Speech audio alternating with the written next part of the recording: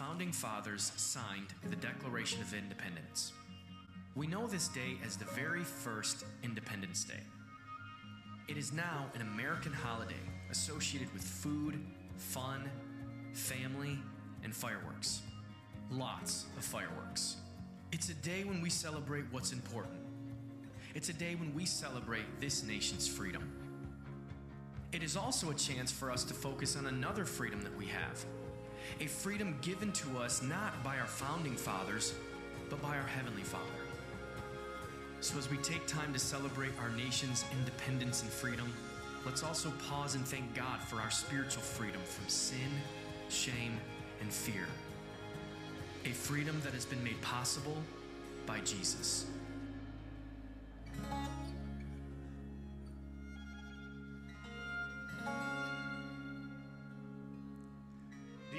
God for America today?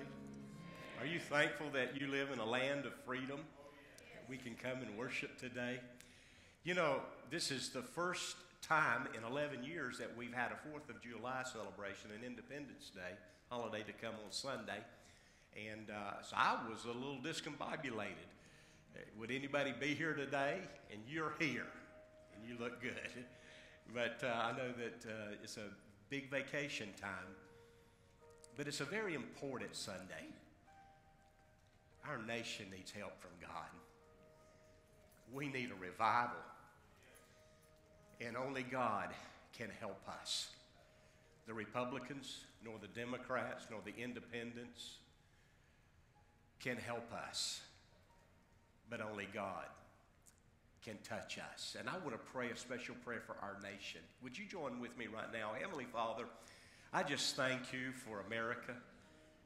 Lord, there's no doubt that you guided our forefathers and, and, and, and Lord, that you led us to be a nation that we could bless the entire world with the freedom that we have found because of you.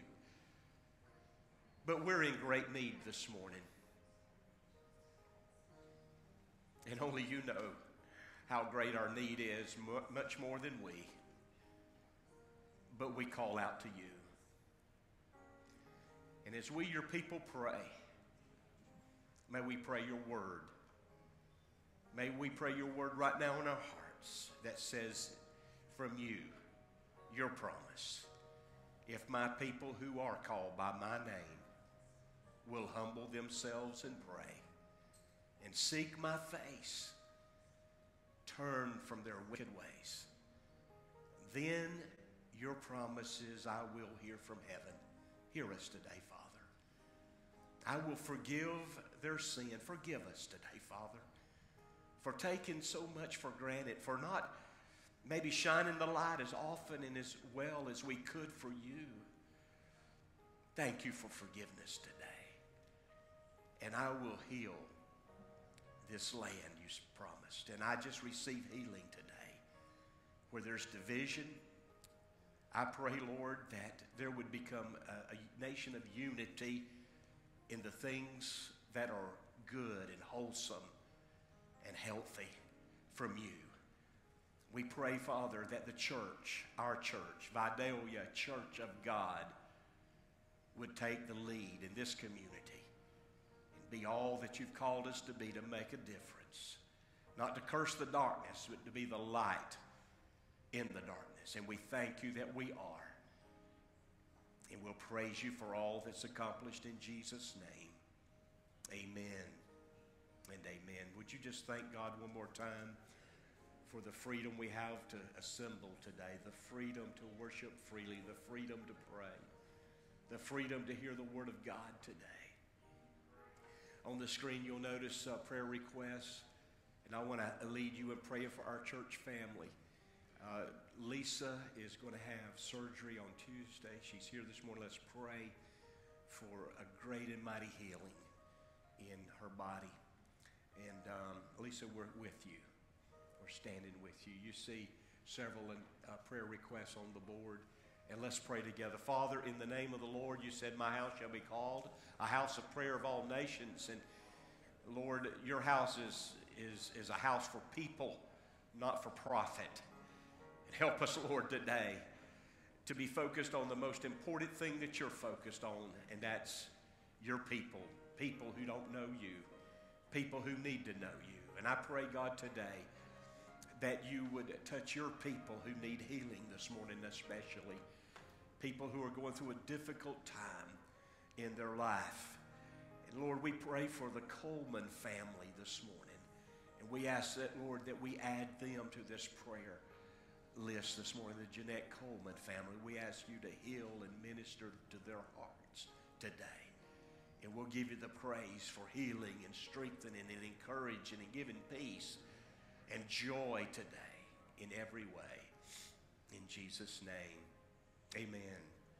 Amen. It is so good to see you. And I did want to announce to you, because I know the relationship that Jeanette Coleman has had in our church and attends many of our functions here. She passed away early this morning. Most of you know that, uh, just hearing the word this morning. But uh, as it's filtered through our church, quite a shock. Uh, what, a, what a wonderful lady uh, she is and was. And so remember the Coleman family when you pray, would you please? And I'm sure arrangements will be forthcoming. But it's just good to be in his presence today, and it's good to see you. Anybody happy about being here today? Well, I hope so. Well, let's give God praise. He made it possible, hasn't he?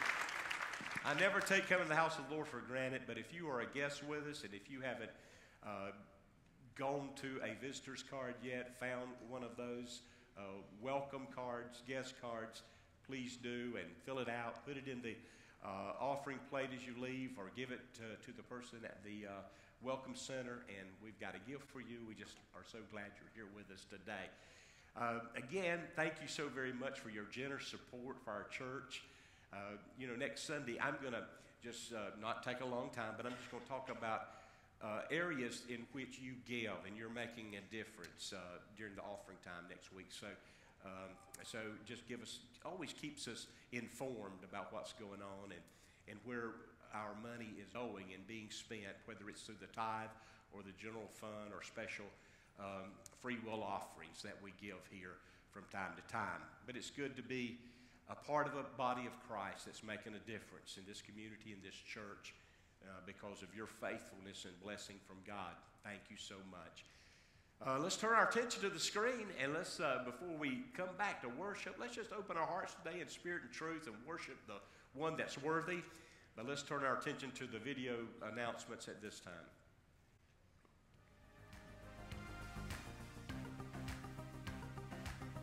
Good morning.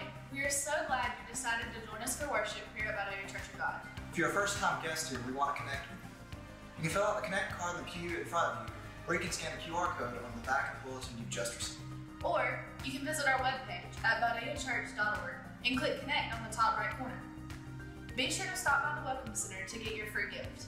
We look forward to seeing you at our next service. It's time to get ready for the 2020-21 Kids Crusade, July the 11th through the 14th, 5.30 p.m. to 7.30 p.m. Register early online. And for more information, talk to Pastor Brandy. Make plans to attend Georgia's third annual Bible reading Wednesday, July the 14th at 7.14 a.m at the Toombs County Courthouse. All 158 counties throughout Georgia will be reading the Word of God. An Overcomers Outreach Conference is scheduled for Saturday, July the 24th at the stage at City Park from 12 noon to 4 p.m. This community-wide event offers a message of freedom and recovery through Jesus Christ to those who are fighting the battle of addiction. That's Saturday, July the 24th at City Park. The competition continues every Wednesday night in Tribe Wars. This competition includes our children's department and our youth, all competing to see who the winner will be. Be here Wednesday night at 6:30. You can stay up to date with all of our church events by following our social media platforms. Now you know some of the happenings here at the Vidalia Church. We invite you to become a part of what God is doing. Should you need Pastor Merritt or staff, just give us a call. Our phone numbers are listed in your bulletin. Have a great week, and we'll see you at the next service.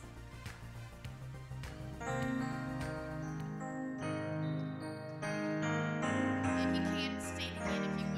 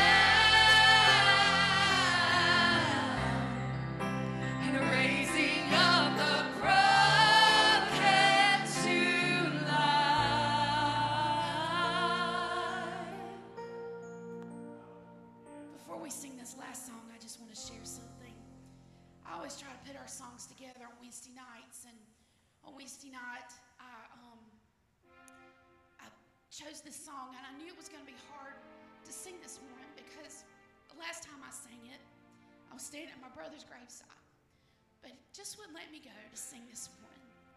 Then this morning, when we found out about Sister Jeanette, Darren shared with us that her church, Cedar Crossing, had shared a video where just this past Wednesday night, sitting at a keyboard just by herself, she sang this very song Amazing Grace. My chains are gone. I'm telling you, you can know that kind of freedom. Because yesterday, when she had that stroke, there was probably no fear in her because she knew. You and I can live like that too. Would you think about that, that kind of freedom as we sing this final song this morning?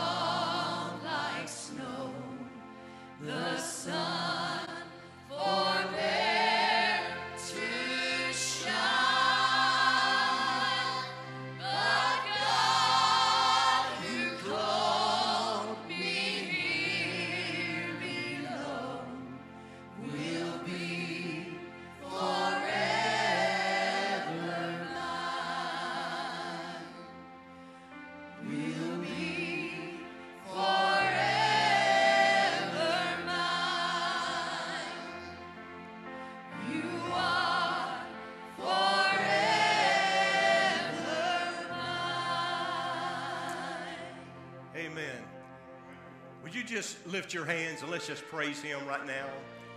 What a wonderful, wonderful privilege to know His grace, a personal relationship today. You know, David said, The Lord is my shepherd.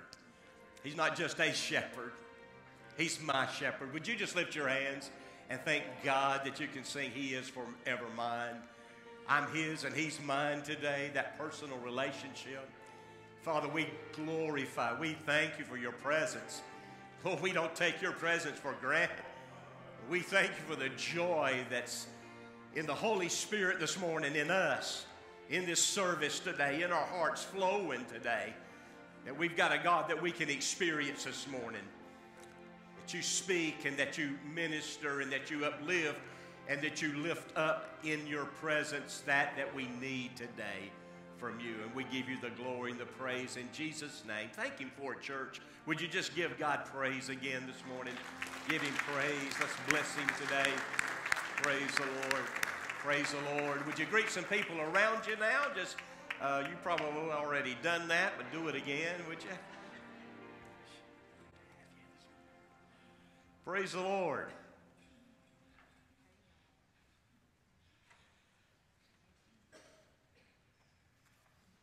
I'll try not to keep you past your barbecue time today. So for the next two hours, if you've got time, we'll, we'll get into God's Word. And uh, I don't think I've got a long message today, but every time I say that, it's longer than I intended, so don't hold me to that. But on this uh, day that we celebrate our independence, for the next few minutes, I want to minister living in freedom living in freedom. Father, I pray that the message today, the Word of God, will go forth. It, pray it will, it will not seem like a holiday message. But Lord, you've touched my heart and you've touched my mind with some things today that I pray will strengthen us and set us free in any area.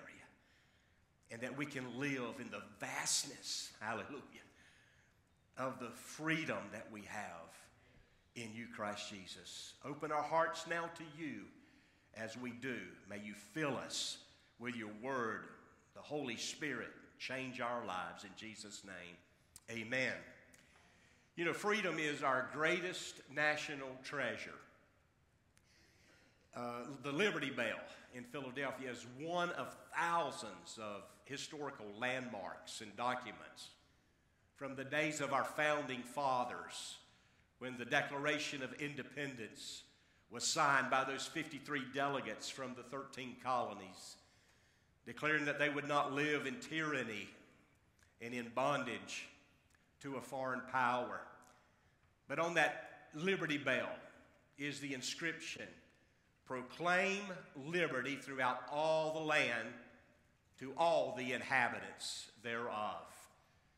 You know, those words didn't come from Patrick Henry, the voice of the revolution, or the founding fathers, who I just encourage you to study how often they spoke about the foundation of our nation being on the Word of God. It's called the Judeo Christian ethic. But those words came from Leviticus 25 and verse 10. Proclaim liberty throughout all the land. And that's what I want to do this morning. I want to proclaim a greater liberty. You know, to um, the historical revisionists that are trying to teach that our nation was not founded on the Word of God and on God. To those that would try to counsel, cancel our history from what we know that it is. It's very important for us to know that liberty, freedom, is not America's gift to this world, but it is God's gift to all mankind. If you're in China, China, communist China or Kenya or wherever you may be a nation, a nationality, a, an inhabitant of, God has proclaimed to us that we can be free. And He intends for us to live that way. The very first words, think about this, that God spoke to Adam after he created him was in Genesis 2 and verse 16. You are free. God's gift, God's intention to every one of us. And of course, Adam forfeited that freedom when he disobeyed God. As a matter of fact, Jesus said it clearly in John 8 and verse 34. He said, I tell you the truth. Anyone who sins is a slave to sin. And because of our sin, the sin not only of our father Adam, but inherent sin and our own choice to sin, you and I deal with a lot of bondages uh, that come against us to enslave us, to hold us captive. As a matter of fact, the Word of God outlines a lot of different ways we can be taken captive, not just to the law of sin and death that Jesus was referring to there in John 8, but there is what Paul called in Romans 8 and 15 a spirit of bondage, again, to fear. There are emotional bondages that people are held captive by their emotions. We know how much the Bible talks about addictions that try to take people captive. There is vain philosophies. You know, uh, we can even be held captive in an unhealthy, abusive relationship where people are manipulating and controlling, dominating, and intimidating someone to conform, and it becomes a type of, of bondage. There is certainly religious bondage, the uh, legalism that Paul dealt with in places like Galatians, uh, the book of Galatians, when he wrote in Galatians uh, chapter 5 and verse 1, it is for freedom that Christ has set us free. Don't be entangled again by a yoke of bondage. He was talking about traditions of men and legalism. But uh, there, there's financial bondage.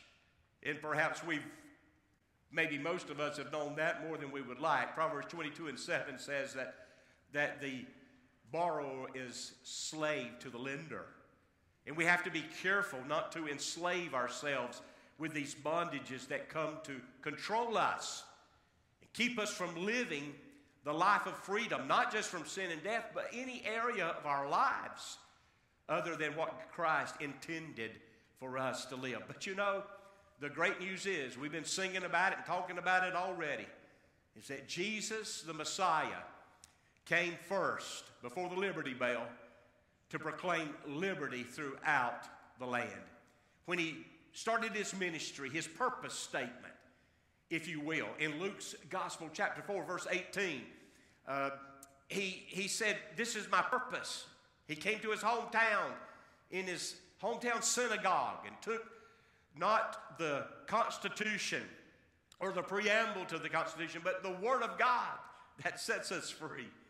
And he said, The Spirit of the Lord God is upon me, quoting from Isaiah chapter 61. The Spirit of the Lord God is upon me because he has anointed me to preach the good news to the poor, to set at liberty, he tells us, to proclaim freedom, to proclaim freedom to the prisoners, the recovery of sight to the blind, to release the oppressed then he said to proclaim the year of Jubilee, to proclaim the, the year of the Lord's favor, the year of the Lord's blessing. And you just get this sense that, that Jesus, when he came, he had it as his purpose. I, I want you to get back to the original intention that God has for you and that you would live in freedom.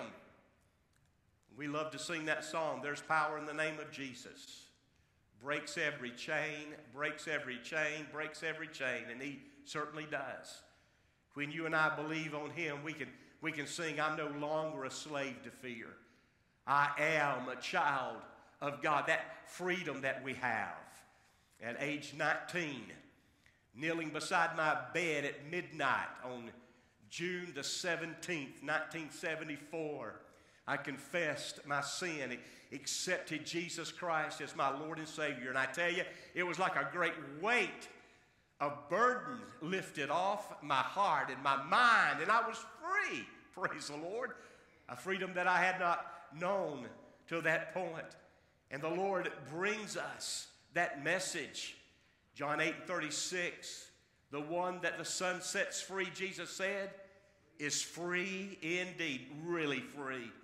Romans 8 and 1, Paul said, There is therefore now no condemnation to those who are in Christ Jesus because through Christ Jesus, the law of the Spirit of life has set me free from the law of sin and death. Anybody free in this place this morning? Do you celebrate your freedom? Because the Bible says in 2 Corinthians 3:17, where the Spirit of the Lord is, there is liberty. Think about that. It gives us the understanding where the Spirit of the Lord is not in your life or not operating in your life, there's bondage. But where the Spirit of the Lord is, there is liberty. It's not just in a church service, but it's in our own personal tabernacles and temples. In that, that we can have that experience this morning of really being free and living in that freedom. And that's what I, I want to minister. I just want to talk about living in that freedom. And I find uh, just a powerful proclamation. We've been talking about the proclamation on the Liberty Bell, the proclamation of Jesus, but I, I found a, a powerful proclamation in the Psalms. I want you to look at it with me. Psalm 119, the longest chapter, not only in the book of Psalms, but it's the longest chapter of the Bible. If I'm going to preach all 170 plus of those verses, I better get going, right? No, I'm just going to look at verse 45. You know, when this verse just leaped off the page at me. I thought, what a great statement. You know, the rabbis, uh, they, they believe that David penned Psalm 119. And uh, David was such a man that, that he could, uh, he had such a passion that you can almost see him in his own experience in worship penning this scripture when he says, I will walk about in freedom, for I have sought your precepts, or I'm devoted to your commandments, the NLT says. I, I'm, I'm in love with your commandments. And what a declaration. Uh, matter of fact, I just want to. I just want to ask you to declare that over your life right now. I think it would help us. Just that first phrase. Would you declare it with me right now? I will walk about in freedom. Let's do it again. I will walk about in freedom. Amen. How freeing is that? What a powerful word is that? You know, the original language, the Hebrew, it, it, it gives such imagery. Uh, this word, when the psalmist said, I will walk about in freedom, it really in the Hebrew is, I will walk about in my wide spaces, my wide places. I'm going to go, I'm going to travel, I, I'm going to walk about. It's a broad place, it's a spacious place. It's, it's reaching and far reaching, an expansive place of liberty. And that's what the psalmist understood in his life that he could have that life that was full of freedom every day in his life, in every situation, in every relationship of his life, that he could walk about in freedom. And I want to give you four truths from this, this verse that applies and is uh, indicated from this verse. And the first one is this living in freedom is a decision I make. Living in freedom is a decision I make. I will walk about in freedom. It's a decisive statement. It's a statement of decision. Everything in your life will be determined, and it boils down to what you will to do. You can make a conscious decision to, this morning to live in freedom, to be free. And by the grace of God that we've already sang about, that I'll talk more about in just a minute, that I've already mentioned, that he that the Son sets free is free indeed. We can declare it over our lives. We can make a decision. I will. If there's an area in my life this morning, in relationships or addiction, any area of my life, maybe financial bondage, I can make a decision that says, I will walk about in freedom. Now, today, of course, we're celebrating what is called the Declaration of Independence. And those signers of the Declaration, those 56 delegates in those 13 colonies, they made a decision with that declaration that they would not live under tyranny. Taxation without representation, they said, is tyranny. We will not live under that kind of a tyranny that we have to be told who we can worship. And the church, that, that's why they came to America as you study the founding documents of the 1600s. They made a declaration on that July the 4th, 1776, that we're celebrating today. But they followed up that declaration with a war of independence. See, anytime you make a declaration of freedom, you just, you just need to get ready because it's going to be a battle, but thanks be to God who gives us the victory through our Lord Jesus Christ.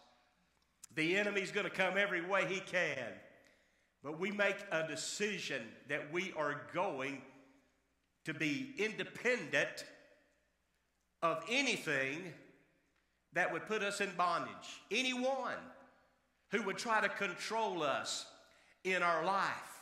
We're going to be, before you can experience freedom, you got to, you got to be independent. You got to make a, a decision. You know, sometimes we, uh, we don't say I will, we say I feel.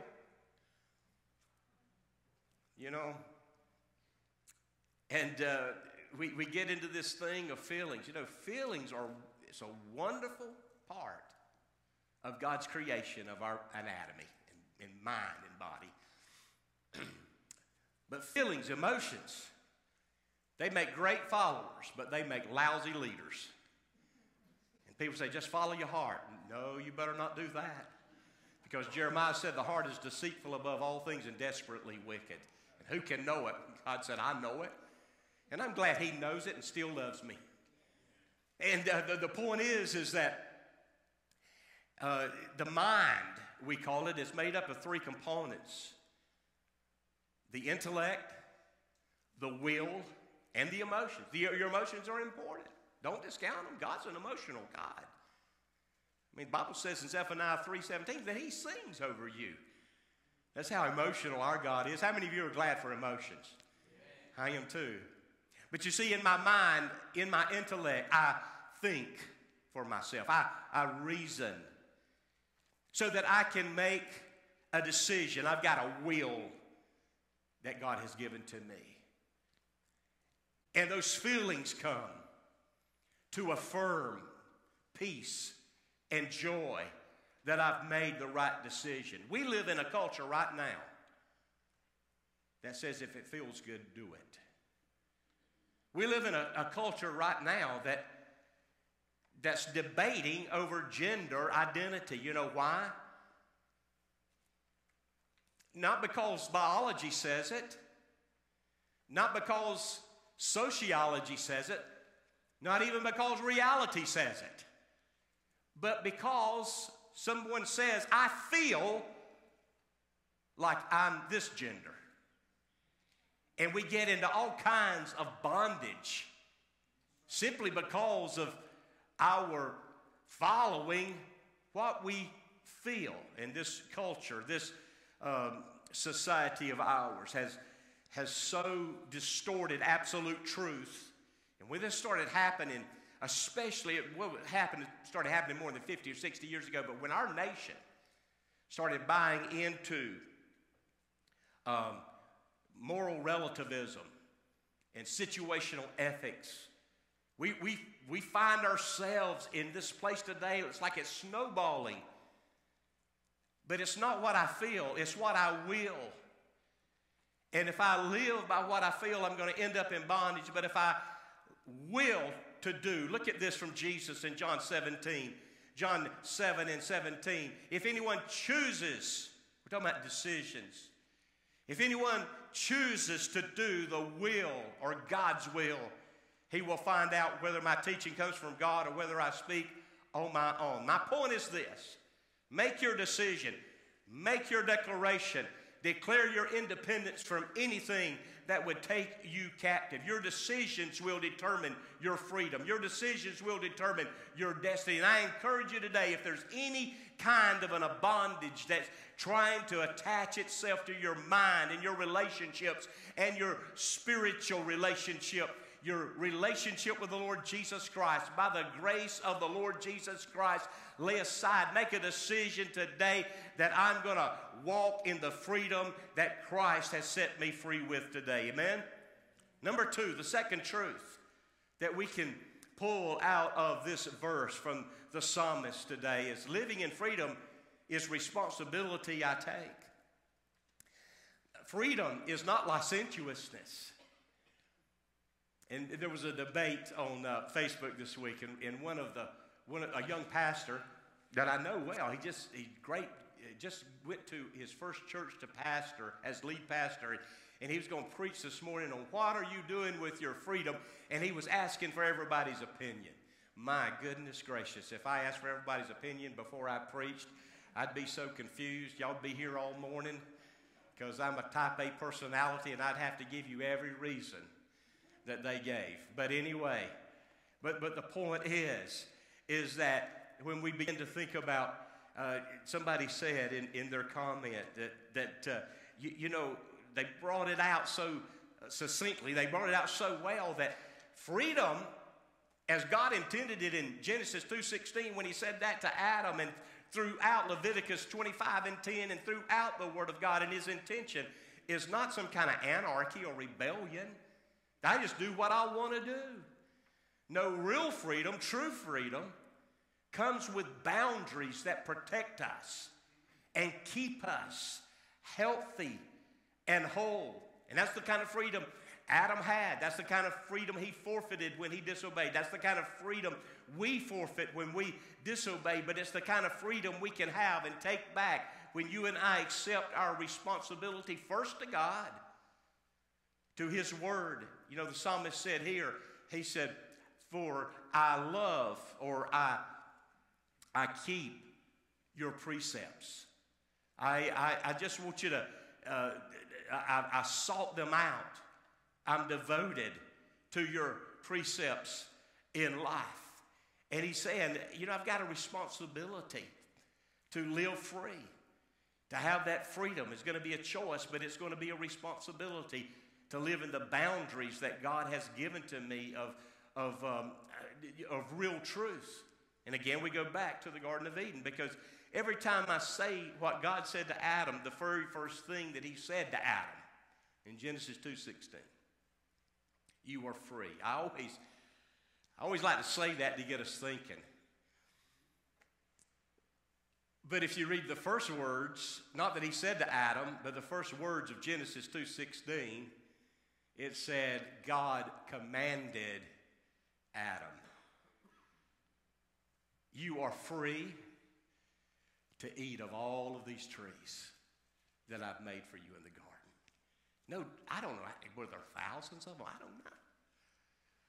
You're free to, free to eat all of these trees, but the one tree that you're not free, there's a boundary. If you're going to live in freedom, if you're going to live in the spacious and you're going to walk about in freedom, there's that one tree that you are not to eat of the tree of the knowledge of, of good and evil. And that's that responsibility that we have to God to trust what God says and not lean to our own understanding. There is a way that seems right unto a man, but the end thereof is the way of death. And Jesus said it this way in John 8 31. He said, uh, If you hold to my teachings, or if you continue in my word, and he said this to those that believed in him, the Bible says, then you are truly my disciples. You're my disciples indeed. Say the rest of it with me and you shall know the truth, and the truth will set you free. What was the condition? Well, the condition was that we hold to his teaching. That's the condition. That we live in his word, that we live in his precepts, that we devote ourselves to his commandment. Matter of fact, James said in James 2 and 25, he, he called the Word of God the perfect law of liberty. And when the Bible uses the word law, it's not talking about the legalism of human tradition or civil uh, restrictions for a particular group of people, but it's talking to us about the Torah, the Word of the living God. And it's also a responsibility that I have, according to what the psalmist is saying to here, here to me, is that if I'm going to truly live in freedom, I've got to be I, have got to live in the boundaries and be responsible to God and, and His protection of my life. I just can't do my own thing. But second, I said it's a responsibility to others. It's a responsibility to serve others. Leo Tolstoy said that life is a place of service, and happiness is only found when we serve others. And this is the way the Apostle Paul talked about it in Galatians 5. And I've already given you verse 1. But he's talking about liberty. He's talking about freedom from legalism and bondage. He said, You, my brothers, were called to be free. But do not use your freedom to indulge the sinful nature.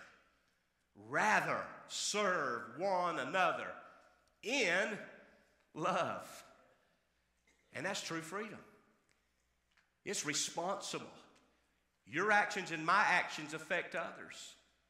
Your actions and my actions can intimidate, or we can dominate, or, or we can manipulate if we're not careful. And it involves not just, you know, Charles Swindoll wrote a great book years ago uh, on grace. I have it. I can't remember the title right now. I have it in my library. And I read that book, and I've read that book, and I've studied that book. It's a great book on grace. And I remember one chapter, he says, Grace is letting others be free in their grace and God's grace for them. It's, it's letting others, you, you know, it, it's very important for us that we, we allow others to think for themselves. I think when you come to church, you ought not leave your brain outside in the car. I think you, you ought to you ought to think. And uh, you know the Bereans did that. And uh, Paul was preaching, and the Bible said in, in, Acts 17 they'd go home and get their, their, their Old Testament out, and they'd see is, is, this, is he saying what I thought he said? But but the point is, is that we need to think for ourselves. When you and I, when you and I think for ourselves, that's when we grow and that's when we get creativity. We learn, and, and then, then we have that dialogue. Uh, did you tell your children, think for yourselves? Did anybody ever hear that from your parents? Think for yourselves. Don't get caught up in the herd mentality. On this 4th of July, we are in a political fight right now in this country over groupthink, censorship where there are those that are claiming liberty, but they want to censor what you say. Isn't that amazing? This group think. And they're screaming. It's a dangerous thing when we start following the party line and, and, and we can't think for ourselves and, and, and it's almost like we're in a cult. And, and we got to be told what to think. No, it's a form of mental, it's, it's a form of mental tyranny. And I just want to shout it loud this morning.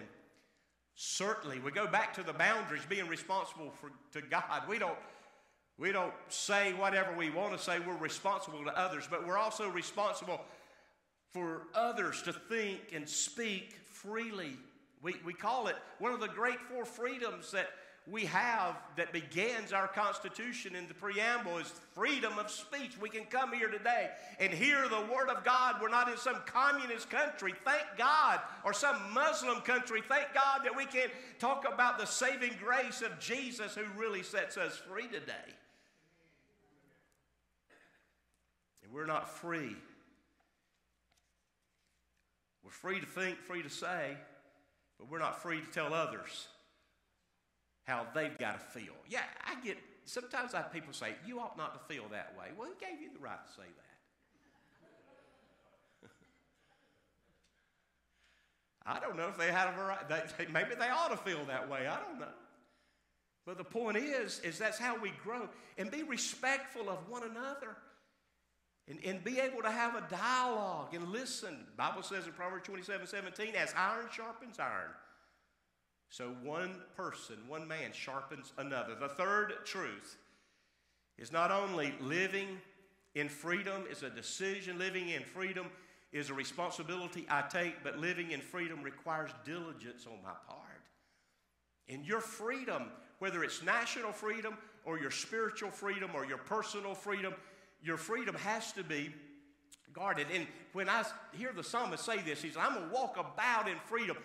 I get a, picture of a sentinel, and he's on guard duty, and he's watching because, you know, I. I love your commandments. I'm devoted to your commandments. I'm seeking after your precepts. Lord, what are you saying to me? Because I know and I realize that only in you is there true freedom to be found in my life. Ed, Edmund Burke said that eternal vigilance is the price of freedom. In any way you slice and dice that, we, we need to be on our guard. How many times does the Bible tell us to be on our guard? Like Proverbs chapter 4, is at verse 13? It's not on my notes, but it just comes to my mind. Guard your heart with all diligence. Paul told Timothy, he said, I want you to guard that treasure that's been given to you as a minister of the God. We're always needing to be diligent and guard the freedoms that we have in the Lord Jesus Christ. And obviously, I'm talking about spiritual freedom that we have in the Lord Jesus Christ. We have to be diligent to guard that, or else we fall back into bondage. And we've, we've all read the story of Israel, how that they were slaves in bondage for 400 years in Egypt. And Moses was raised up by God to lead them out of that bondage through the plagues and eventually through the blood of the Lamb on that doorpost that was the very blood, the Passover Lamb, Jesus Christ, who shed his blood on that cross for us all. And they went out of that land free. Bible says they walked out in victory. The Bible says they walked out and spoiled Egypt when they went. And uh, they got to that Red Sea, and it parted at Moses' lifting of the rod and, and believing God and trusting God, and they were free. But if you read the Bible, hundreds of years later, this same people living in the land of freedom, living in the land of Canaan, because they forgot the precepts of the Lord. And they turned their hearts toward idolatry and other gods and immorality. The Bible tells us that they once again came under captivity after the golden age of David, after the great military might of Solomon's age. This same people went back into captivity to Babylon and went 700 miles in today what is modern Iraq. And for 70 years, they lived there in bondage. Their city was destroyed, their livelihood was destroyed. But here is my point. Somebody said Cyrus gave a decree after Persia took over Babylon to let them go back to their homeland, to be set free from captivity. But let me tell you who really gave the decree God Almighty gave the decree. Cyrus was just a puppet uh, being turned as a watercourse in, the, the very heart and mind of God. And, and the Bible says that the people went back, and you read the great book of Ezra and Haggai and Ze- Zechariah and those great books of the Bible, and it talks about them returning. You know what it's called? It's called the second Exodus. And the lesson for all of us is this we can have an Exodus, we can be free, but if we don't guard that freedom, if we don't take responsibility, if we don't make good decisions in Christ, the point is, is that we can go back into bondage. But the great news is this not only the bad news, but the great news is this that we can always have a second exodus in our life. Jeremiah 29 and 11, he sent them a letter. He sent them a message while they were over there. He said, You're coming out of there 70 years is going to be determined for your captivity because this is what God says. I know the plans that I have for you, says the Lord. They're not plans to harm you, they're plans to prosper you and to give you a future and to give you a hope. And the point is this you and I, if we find ourselves in captivity to a relationship, in captivity to some kind of bondage in our lives, praise be to God, we can have a second and a third and a fourth Exodus, whatever we need, because He's the Christ who sets us free. Amen. Galatians chapter 5, verse 1. It is for freedom that Christ has set us free. Stand firm then. You got to guard it. You got to be diligent. You got to stand firm like a soldier and do not let yourselves be burdened again. Again. Again. By a yoke of slavery. Are y'all with me this morning? Sometimes we, you know, we're like the Jews when Jesus was giving them that great message I've been quoting from John 8. If you continue, those who believe in me, if you continue in my word, that uh, hold to my teaching, you shall know the truth, and truth shall set you free. And they said, we, we haven't been in bondage to anybody. And they were in bondage right then. They said, we're Abraham's descendants. And sometimes we're in bondage and we don't really even realize it, but we've got to guard and be diligent about the freedom that we have in the Lord Jesus Christ. And then finally, number four, Freedom is always possible. Doesn't matter where you've been, how many Babylons you've been in. Freedom is always possible. If you find yourself today in any form of captivity in your life, sometimes we wonder will I ever get free in this binding abuse and manipulation? You know, you call drug abuse what? Dependency, right? I mean, is that a synonymous term? And some people, you know, we, we are dependent on God. When I talk about our independence, obviously we're dependent on God and we're interdependent as the body. But we don't let people control us and to think for us. But we uh, don't never, ever, rather, we don't ever need to see ourselves as dependent on anything, whether it's a substance, any kind of an addiction. Much of what addiction involves is nothing more than an escapism. But glory be to God today that you and I can run to Him. And the Bible says that in Him there's a strong tower, and the righteous run into it they're safe. Because He's got these great protective walls for us to keep us free. To walk about in our spacious places so we can, we can throw aside every shackle and every chain binds us. See it again, John 8 36. If the Son sets you free, you will be free indeed. Hallelujah. The power of the Holy Spirit today is here. If you haven't come to know Jesus as your Savior and Lord, you can be set free today by the power of His grace. By simply confessing Him as Savior and Lord, repenting of your sin, turning to Him, trusting in Him. But if there's an area in your life that you're struggling with, that you're wondering, can I ever be free from this? Yes.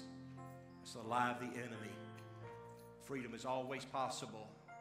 How many times did Jesus tell us all things are possible to the one who believes? That's all we got to do is trust Him, have faith in Him. Several years ago, I started working with a young man who his parents had come to our church but for whatever reason, their teenage sons did not come to church with them. great people, but so I, I wasn't quite sure about that situation. They had raised their boys in a Christian home. As a young man, seemed to have everything going for one of the most intellectual people I'd ever known eventually. He um, had a wonderful marriage, two precious children. But he got to that place in his life that he couldn't believe, he said, in a God. And along with that state of what he felt was almost torture, he couldn't shake his addiction. It was ruining his relationship. He would lose his marriage. It was ruining his, his workplace. And even though his workplace was a great place and had a great career, they would send him to this rehab and that rehab.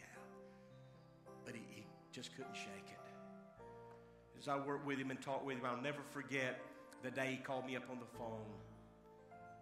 And he said, I just want you to know I, I got through that barrier. And I want you to pray with me because I've, I've accepted Jesus Christ as my Savior and Lord. And it was a great day for him. But there was that addiction, that bondage. In his case, it was an addiction to substance, it was an addiction to alcoholism. And then he was, he was just. I mean, I'm talking daily, in, inebriated, just losing it all.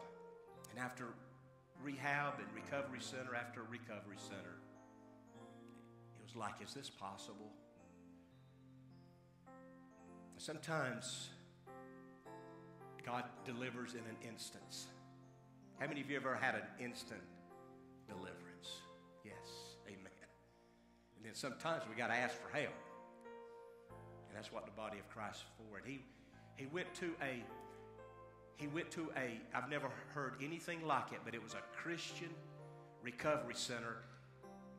And when he came back and he explained it to me, it, it, it was nothing like I'd ever heard from with all the great leaders out there that's tried and some have succeeded. He was set free. And that was that that was seven, eight years ago, at least. And today, he's got a family, he's got his boys, he's got his job, he's in the church, he's living for God, and if you talk to him, he's free. Indeed he's free indeed he said, Don't ever think, well, is this possible for me? Maybe it's an addiction to substance or porn or some abusive relationship you feel under bondage to. It's always possible. I will walk about in freedom, for I seek after I sought your precepts. Stand with me, would you please? Father, in the name of the Lord Jesus. Lord, I just want to pray a, a, prayer of freedom this morning over this place. If anyone's watching online, Father, it's my prayer that, that the Holy Spirit would break through in technology as you always do and, and convict and touch and give hope this morning and give, give hope. There's always hope. There's, it's always possible. All things are possible in you. And, and we thank you for life and and liberty this morning in Christ Jesus. I pray now for those that may not know you as Savior, that first of all, that they would be set free from the law of sin and death and, and be able to enjoy the vastness of your life, life more abundant, you called it. You said it was immeasurable. And if, as I pray this, if there's anyone ever doubting what kind of life they can have, you said it's a life that's immeasurable. A life that's immeasurable. Hallelujah. Thank you for abundance this morning. Thank you for abundance. In Jesus' name, in Jesus' name. Lord, I pray for anyone here who feels bound this morning and, and they, they're letting somebody else do their thinking for them. Lord, I pray today that they would have a declaration of independence to be dependent on you. And I pray that they would declare and make a decision today that I will walk about in freedom over this addiction, over, over this thing that holds me down in my life, over this person that tries to intimidate and dominate and manipulate me in my life. Lord, I, I yield myself to you today and I receive freedom from you. In Jesus' name, in Jesus' name. You know what I want us to do? You know, I was going to ask people that may be battling something. Sometimes that's so personal. It's more important for me for somebody that's battling an addiction or a bondage that they need to be set free. It's more important for me that we get free than who we see may become. So, what I'm going to ask you to do, and I know it's not up here, it can be back there, but there's something about when we make a decision and step out and be determined for God and be diligent with the Lord. He meets us in our faith walk with Him, and He grants to us His grace and His mercy that's free. I'm going to ask you to step out of your pew from all over the building and come. And come because all of us, the truth is, all of us have known some kind of bondage. Would you come from all over the building? And if you have some kind of an addiction, some type of bondage today to anything that's holding you, you may want to kneel in this altar. You may want to stand, but would you just lift your hands as a sign of freedom? Just as a sign, Lord, I'm giving this to you today.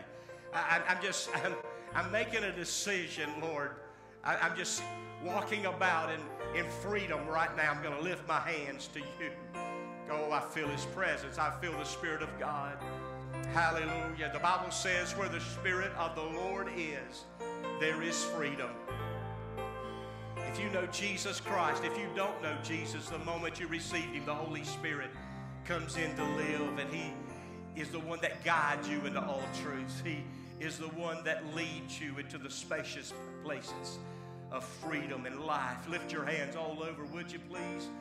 If you're standing in the back or you're standing up front or if you're kneeling or you're sitting, just begin to receive what God's got today. Re- begin to receive freedom in your mind and in your life. Heavenly Fathers, I speak again in prayer over this congregation. I pray that we would not be held in bondage to anybody, that we would see ourselves as a bond servant of the Lord Jesus Christ, a love slave to you, Lord, who set us free. Oh, I praise you today, Lord, that I can walk about in freedom in my life, in my heart, in my marriage. I can walk about in freedom. And I'm just asking you, Lord, to minister today. Uh, we come against addiction. We come against bondages today. In the name of Jesus, in the name of Jesus, those people that are among us, our brothers and sisters, Lord, we support them today. We all know what it's like to feel like, can we shake this off my life? Can we shake this off of my mind? In the name of the Lord Jesus of Nazareth, I declare your word of liberty and your word of freedom over their minds, over their hearts. Oh, Father, in the name that's above every name, Lord, may there be a decision made today in Jesus' name to know that, Lord, you've got an abundance of life, liberty, and joy today in Jesus' name. Hallelujah, hallelujah, hallelujah. While your hands are raised, if they're not, why don't you just consider doing that? Now begin to receive. As you just gave that to the Lord all over the building. Let's just begin to receive His grace, His grace, His grace, His power. Holy Spirit, move in this place today. Holy Spirit, touch us this morning in this house. Hallelujah. Without your grace, without your touch, we can't live in the vastness of your joy and your peace and your goodness today. In Jesus' name, in Jesus' name. Hallelujah. I feel His presence. I feel His presence. If you're comfortable doing this, if, you com- if you're comfortable doing this, why don't you just lay your hand over on the person that you're standing near? Just lay your hand on their shoulder if you're comfortable doing that. And, and, just, and just ask the Lord to move in their life. Most likely they don't have a, something they're dealing with in way of a bondage perhaps, but I want to tell you where the Spirit of the Lord is, there's freedom. There's freedom to, to have joy again. There's freedom to praise God again. There's freedom to rejoice again. There's freedom. Hallelujah. To walk about in the vastness of the abundance of your grace. In In Jesus' name, in Jesus' name, in Jesus' name, receive this morning, church. Now to Him, now to Him who is able to do exceeding abundantly above all that we ask or think, according to the power that works within us. Hallelujah.